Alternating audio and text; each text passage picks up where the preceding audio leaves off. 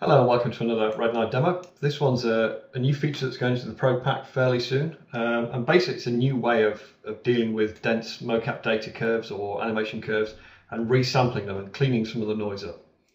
Um, it's based on the Butterworth filter um, that Motion Builder has got. In fact, it's a replication of the Butterworth filter code. Um, and what I'm going to do is I'm just first going to drop some mocap data in from Maya. That should do. Fight 3. No idea which one that one is. In fact, I think it's that one. Try that. Um, this UI uh, we'll be going through much more detail in another video. Um, it's just a way that we use of getting mocap data onto our rig systems. Just close that down. Let's have a look what we've got. Wrong one. Let's try that one. We've got three. Let's bake it off. Okay. Close it off. Right, so we've got a bit of mocap data. Um, and this is just coming through HIK plugs onto our rig. Basically allow uh, connections from HIK to go straight to the rigs.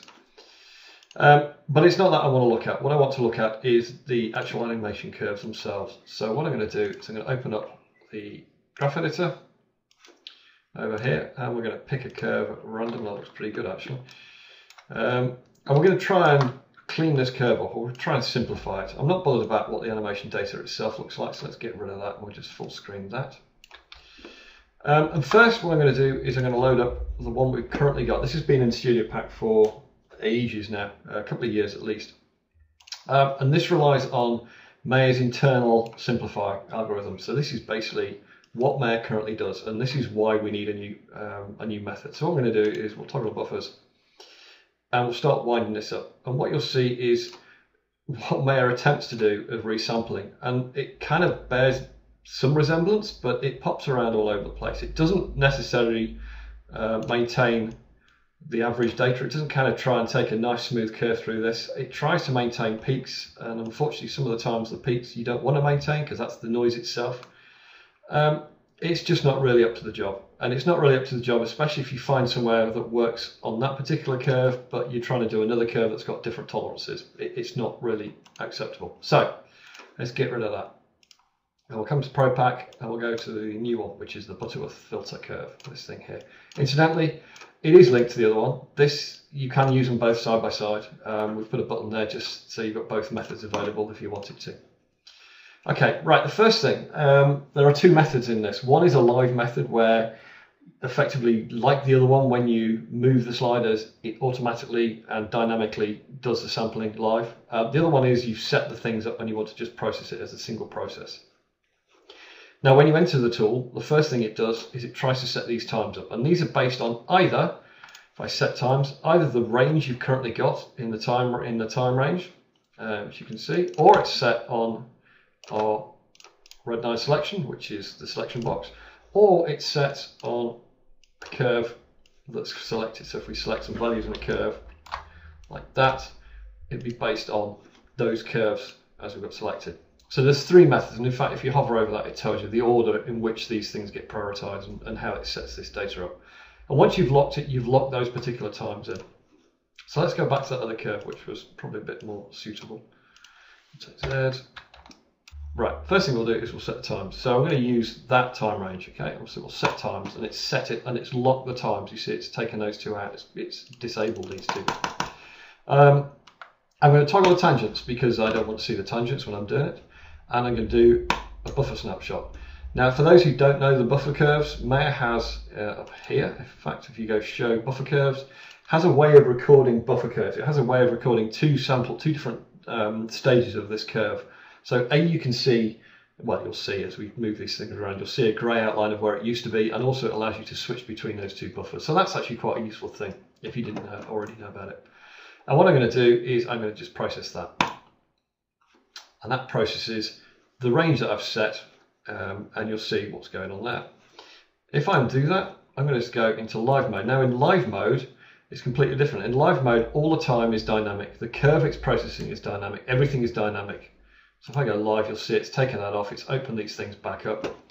And what I can do now is I can wind this effect in and out. You see it's winding that data in and out based on it.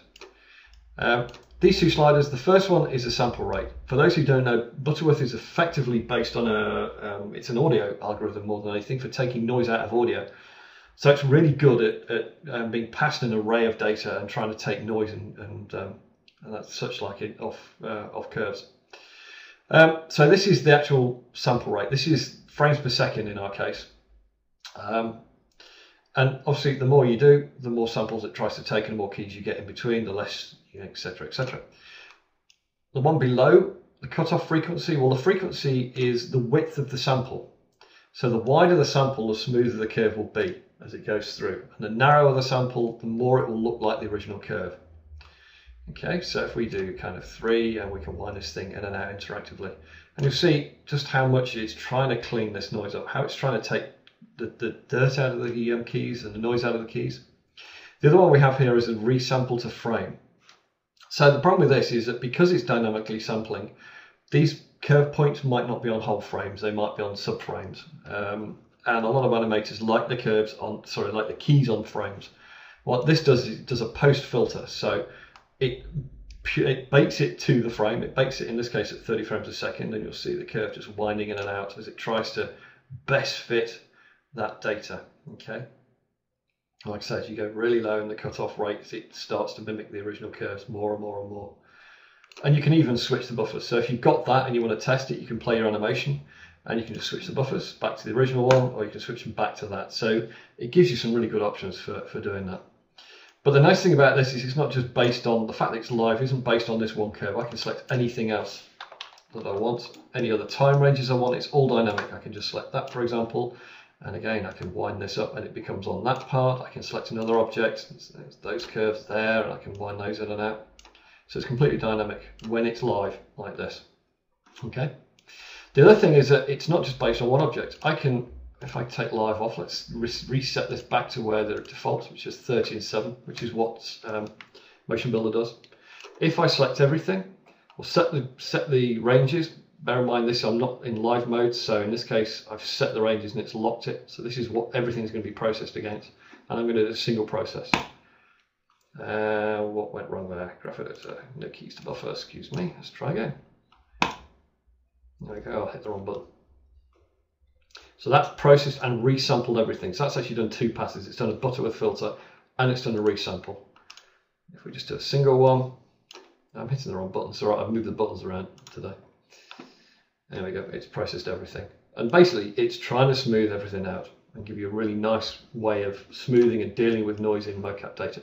It's particularly good for things like audio, where you've got lots of fine little details and lots of fine noise, uh, and you just want to nick that fine noise out of it on bits of data like this, it's good at smoothing stuff out if you've got dirt, noise, etc., etc. Uh, but it's a really powerful process. Um, hope that's useful. Um, thanks very much for watching. Bye.